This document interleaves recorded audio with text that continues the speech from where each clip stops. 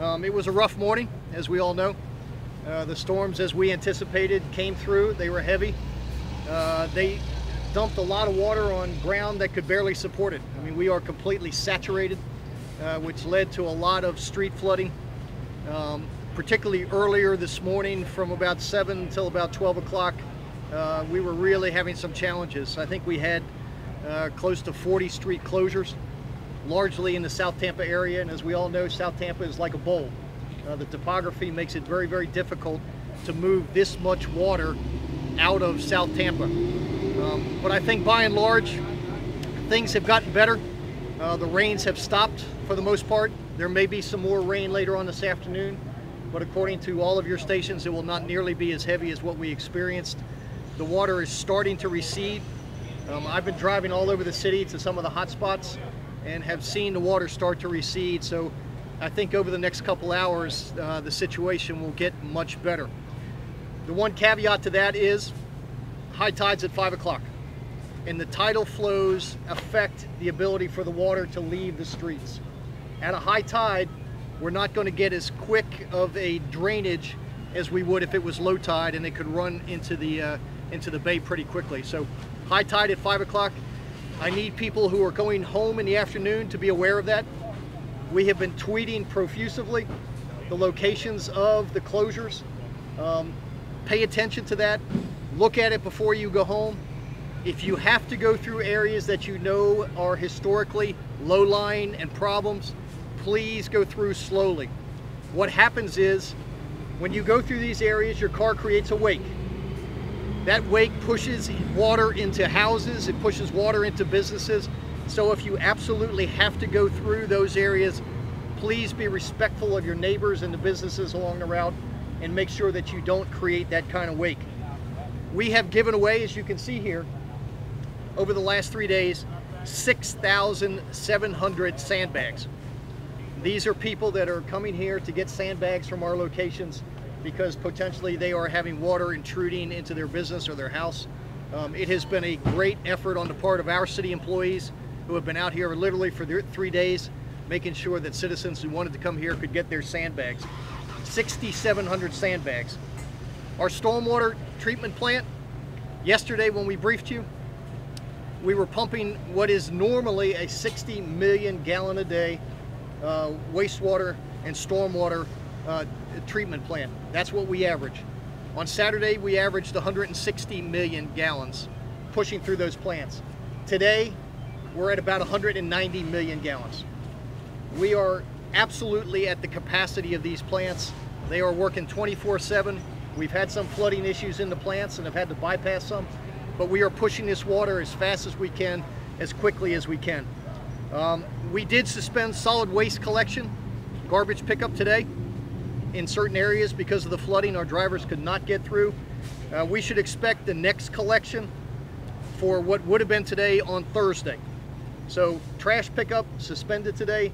We'll come back again on Thursday. We are not going to risk our drivers um, and their health and their safety. Uh, so we will pick up your trash on Thursday. Please bear with us moving forward. Uh, as many of you saw, the place where we briefed yesterday at Regency Cove, um, is now a river. Uh, the water came through and basically took out the remnants of that road that we saw yesterday. Uh, there's about 100 residents in Regency Cove that do not have water. They are able to get out of Regency Cove and buy water if they need to, uh, but that situation is much worse than what we saw yesterday. Um, I think we're over the worst of it. Uh, Governor Scott called me today uh, at about 12 o'clock to see whether there's anything that he could do. Um, at this point, I think we've got pretty much everything handled as best we can um, in these extreme conditions, record amounts of rainfall. I would only ask two things, that as you go home tonight, pick your route carefully, drive slowly. I was just looking at a site down here at Lake Avenue, um, and there was a kid swimming in the middle of the road. Don't do that. The water's not safe. There's no telling what's in there. There could be snakes in there, there could be bacteria in there. We don't need children swimming in the flooded streets.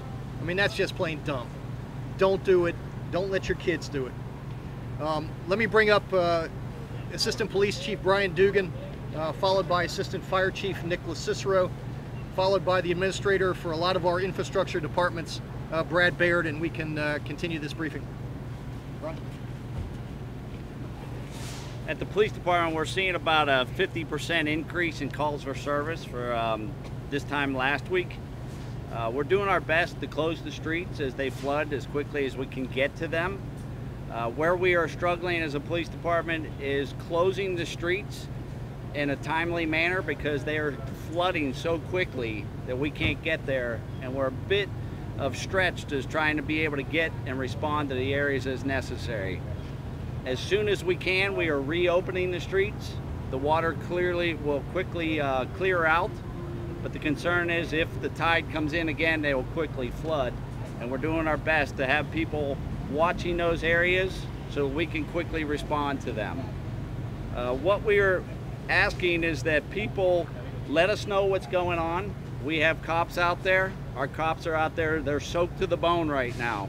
Once you get wet in this weather, they're not drying out. They've had some very long days, but they're doing what we do best, and that's uh, protecting and serving and doing everything we can.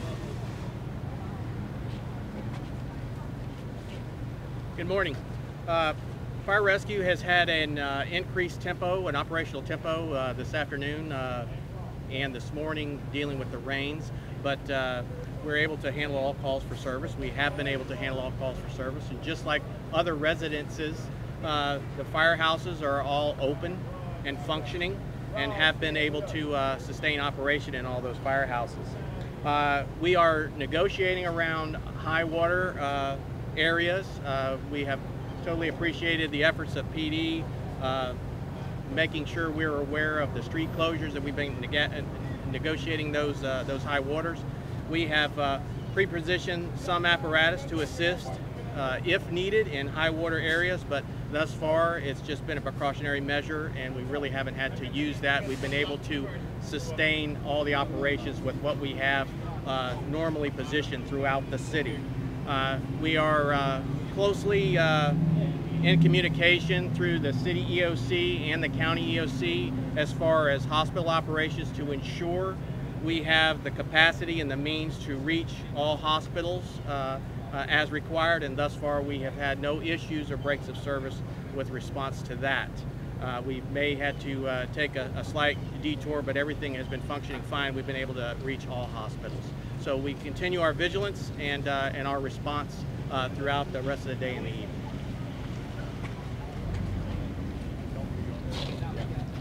Uh, good afternoon, Brad Baird, Public Works and Utilities Administrator.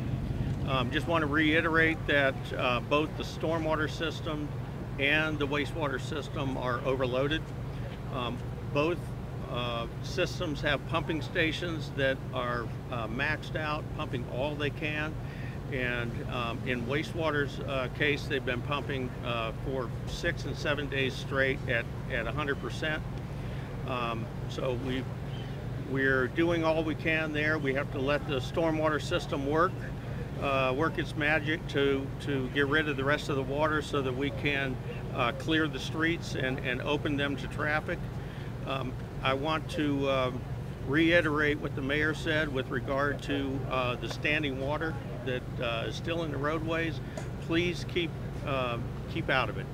Uh, keep your children out of it. I've, I've seen people swimming in different areas of the city. Um, you know, please stay out of that water. There's all kinds of bacteria and viruses that could be could be present. So um, with that, I'll turn it back over to the mayor for questions. Jean, I'm sorry. Good afternoon, Jean Duncan, Transportation and Stormwater Services. I'd just like to put out a phone number for you all, 813-274-3101. This is our 24-7 call number for any flooding issues that you're seeing. We do ask that you um, consider that those be urgent issues. As the mayor mentioned, the tide will be uh, going down and as it recedes and as the rain recedes, so will these flooded streets. So it's a matter of being patient. We appreciate your patience. But if it is an urgent matter, please feel free to call that number 24-7 and we'll do our best to uh, address your issues. We do have all hands on deck taking phone calls and going out and addressing the drainage issues. So thank you. None of this could uh, have been accomplished without the hard work of Tampa Police Department, Tampa Fire Rescue, our Public Works employees, our Parks and Recreation employees. They literally have been working almost around the clock for the last three days. They are hot, they are tired, they are wet. Uh, they've been helping motorists, they've been pulling people out of cars. They have done absolutely amazing work, and uh, I think this city is, is proud of our city employees. And I, and I know they want some rest, and hopefully tonight they might be able to get it. So we'll take any questions right now. Mr. Mayor, you talked about how serious. Hold on, I'll get you in a second, Mel. Hey, Diane. What, hello, what area are you going to be paying close attention to at 5 o'clock for high tide? Uh, South Tampa is is ground zero. I mean, that's where the bulk of the flooding has been, because it's a low-lying area. It tends to hold the water more so. Uh, so we will be watching the South Tampa area. We know where the streets are that have been problematic. They've been that way for decades. Uh, so we'll be staying on top of that. We'll be moving barricades as we can, as the roads become passable. But there still will be a lot of standing water, so people need to drive slowly and not create that wake. Yep. Mr. Yep. Mayor, Mel. you're uh, live on News Channel 8 right now talking to some of our viewers out there who are obviously concerned about the flooding. You spoke yesterday, and there was a real urgency in your voice, as there is again today. Can you talk about uh, the seriousness of this situation? Sure. I mean, folks need to pay attention. You know, if you can stay home, stay home. Avoid the areas that are flooded. I mean, there are all kinds of issues out there with people being out on the roads. We don't want to put our firefighters and our cops at risk, and we don't want structural damage done to people's houses by people driving through flooded areas and creating that wake. So just use common sense, drive slowly, plan accordingly, leave work early if you have to.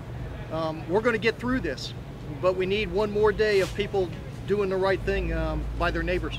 Have you ever seen it this bad? I've lived here since 1982, and I've lived through a lot of tropical storms and a number of hurricanes.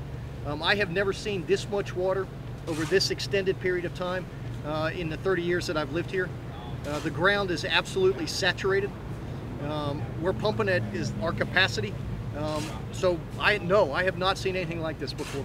Do you think it's just the nonstop rain that we have? We just have not had a break from the rain, really, not just in the past couple of days, but the past couple of weeks. We've not seen sunshine in days. Well, we're fighting Mother Nature here, and uh, she is a cru- cruel mistress. Um, you know, we're doing the best we can with the capacity that we have, uh, but some things you're just you just have to roll with the punches, and then manage it as best you can, and then clean up after it. This is one of those cases. You know, I don't know whether it's climate change or what, and I'm not afraid to say climate change. Um, but we uh, we've had a lot of water, Mel. We've had a lot of water. Uh, we're going to continue to get some tonight, but I think we've gone through the worst of it. What have you heard from residents? You said you've been going around the city and talking to people, you know, house to house, neighborhood to neighborhood. What are people saying to you? I think people are saying what I just said is they've never seen this. Even generational families um, have never seen this much water in this concentrated period of time. They recognize that South Tampa has its problems in terms of drainage. Um, they also recognize, I think, that we need a big infusion of capital if we're going to fix this problem, and hopefully City Council will provide that to us. Um, I think they are as uh, astounded as the rest of us are about the amount of water, but they also cope. You know, they're good folks. They're used to living in Tampa. They know it rains. It rains hard. It floods in certain areas, um, and for the most part, they accommodate. What I can't predict is people being stupid. And I would hope that people who are watching this would know. Just, you know, use common sense. Can you talk about resources? You said you away, what, 6,700? Yep. Do you have enough sand? You know, what, what are we looking at for next year? Well, it depends on what the weather is. I mean, I think the bulk of it has passed. Um, if your weather folks are accurate, um, we had to reload last night to get more sand. Uh, the county provided us with some. Um, I think we have enough to make it through the next day or so, and then we'll make a decision as to whether or not we have to reload. As you can see, it goes fast. I mean, 6,500 sandbags is a lot of sandbags, but that's what we're here to do. We're here to help. And when we have neighbors who are in distress, we're going to stand up and we're going to say, what can we do for you? And so it's been great to see the response. These guys, our parks employees, have been out here since 8 o'clock loading those sandbags. Um, they're tired. You know, they've been at it for three days. Um, those are the heroes. And it's a minute by minute uh, decision making process, I would imagine, because you guys are just watching the weather like we are and trying to make decisions about wastewater and uh, solid waste, uh, you know, garbage pickup, things like that. It is indeed. Um, I come to work with my police radio and I go to bed with my police radio. And, you know, monitoring the capacity of the plants, looking at the outages, looking where switches and circuits have been tripped. I mean, that's what these folks do every day, and so they are on top of it um, on a minute by minute basis. And when we have to react, we do. When we deploy, we do. Uh, when we have to load up on resources, we will. Um, you know, we're, we're going to get through this, and, and uh, you know, it's, it's going to be okay at the end. What would you say the biggest challenge has been for the city? It's the street flooding.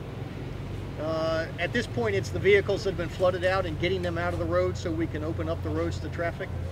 Uh, there has been little structural flooding um, of, of a major uh, magnitude.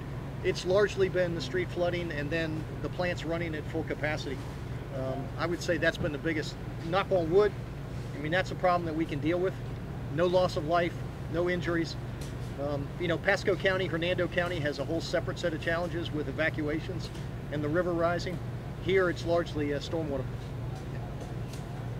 And your advice one more time for residents who are watching right now, again, you know, you're live on News Channel 8, what would you tell them today and the days to come? Sure, I would tell them to have a plan, recognize that there are going to be streets that will be flooded, leave early if you have to, drive carefully, be considerate of your neighbors. If you have to go through areas where there's standing water, do it slowly. But if you can avoid standing water, please do it. Find another way to get home. Um, and if you see somebody in distress, obviously uh, do the right thing and go help them. Can you elaborate on the wastewater system? How dire is it? Is it at the point where people shouldn't be flushing, that kind of thing? No, no, not yet. And I think you're going to see us over the next day or so um, get get back to normal capacities. I mean, it will take us a couple days. Um, you know, you see some of the manhole covers bubbling up. Um, that's just because of the amount of, of water we're having to deal with. I mean, I've never seen, and maybe Eric can tell you, us pumping at 190 million gallons a day when a normal day is 60 million gallons. I mean, that tells you how much water uh, and runoff that we're dealing with. Uh, but for the most part, you know, we're treating the water. Uh, we're doing the best we can. Um, time will be to our benefit as the water starts to recede and we can get back to normal um, capacity. But it's going to take at at least two days probably. So when the manhole covers are bubbling up, it's not? Eh, I'm going to let Eric talk. He's the sewage guy. Eric Weiss, Director of the Wastewater Department. Can you repeat that? Um, when people, you know, I just for people to be aware, when they're out in the streets or tempted to play in the water, when we see the, the water bubbling up from the manhole covers, is that sewage essentially? That, that is wastewater surcharging the system because the pumping stations can't keep up. So it surcharges in those areas in the manholes where you'll see it coming out of the pick holes, we call them. So, So- please stay away from those. They can um, contain harmful bacteria. So people think it's funny to swim in the water, they don't realize what they're maybe swimming in is sewage. Correct. Can you elaborate a little bit on that? Yeah, there, there is people harm- think it's funny to get in a boat or to swim across and Yeah. around. Again, I think it's been said a couple times. Please stay away from those surcharging manholes. Not only viruses, bacteria, there could be animals in there, um, and other waste that comes, you know, from homes and businesses. So please stay away. At five o'clock, high tide, what exactly will you guys be doing? We'll be doing exactly what we've been doing for the last three days. I mean, we'll be maintaining and monitoring. I mean, the, the issue of the tide affects how quickly the, the roads are going to recede, the water's going to recede. Because if it was low tide, the, the water could recede quicker because it would be moving out into the bay. With high tide, the bay will be pushing up, kind of creating a barrier that prohibits an expeditious drainage. But it's, you know, six hours from now, the tide will change and the, the, the, uh, the water will recede a lot quicker. But it will not be flowing into the streets. It just will prohibit um, a quick, quicker ex, uh, exit of the water that's on the streets. Mr. Mayor, some of the streets seem to be still flooded. Are, are police active in, in shutting down those streets? Uh, uh, We haven't, you know, we know that everyone is working around the clock, but where where are some of those people shutting down those streets? Are we going to see more officers? Are we going to see more city workers uh, actually shutting them down, the streets that are completely flooded out? Well, Mel, we've uh, probably have 40 locations around the city that we have closed. I mean, we know where those places are. They have been barricaded. Uh, what we're seeing now is the water start to recede. Like I was on Kennedy Boulevard uh, about an hour ago, and literally the water receded probably two feet in, in the 15 minutes that I was there. So we know where they are. The vast majority of them have been barricaded. They will stay barricaded as long as they're a problem. Um, so that's, uh, I don't think you're going to see any additional barricades put up. unless something happens tonight that we're not aware of. Yeah.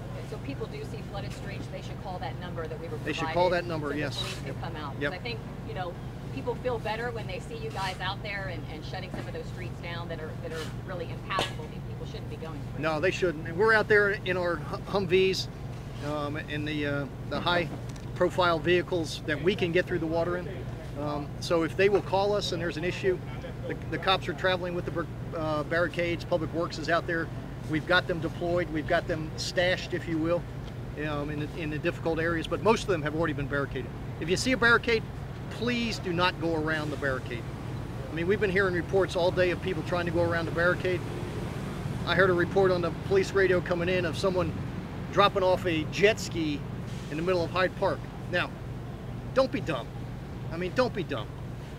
You know, just go home, take your jet ski, take it out on Saturday at Courtney Campbell. Don't drive through Hyde Park on your jet ski.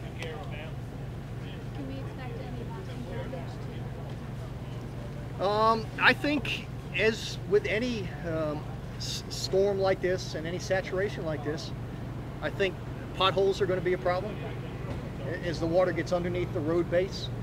Um, I think we talked about yesterday that um, stormwater cave-ins uh, are going to be a problem um, as the water recedes and the, and the soil is loose and collapses in on itself. We've got 100-year-old pipes um, that when they get stressed this much, get weak. So I'm sure Eric is going to be very busy over the next couple months with uh, additional cave-ins, additional uh, leaks, additional cracks. But that's what happens when you have this kind of water. Can you elaborate on that? Um, just like we do every time. We, as soon as we find it, uh, we identify it uh, and we fix it. It's not it's going not to. over after tomorrow. No, it will not be over probably for two or three months, sir. Right. Yeah, yeah, yeah.